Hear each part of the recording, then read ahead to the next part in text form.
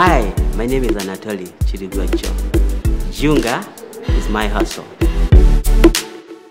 This company started last year, mid last year, and uh, right now we are serving one community, which is Kigoowa, in Ntinda, Kampala. And as we go on, we want to see and fix most of the things so that it, we can replicate it in the entire country and probably after we'll exit and go to another country and see the same service there. We have created Yunga as a network that leverages on the community. So what happens is in a, a neighborhood, if you're more than five people, you install our simple device, all locally made, because now that makes it cheaper. And by tap of a button on one device or triggering an alert in case someone has intruded within your house, it will notify all your neighbors that someone is taking advantage of your property.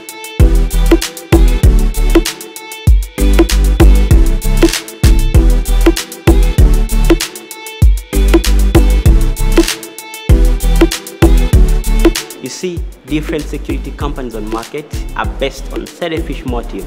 You buy your security system, you alone, but what this does is that even when you're not at home, your neighbors are able to come and rescue in case there's trouble around your house.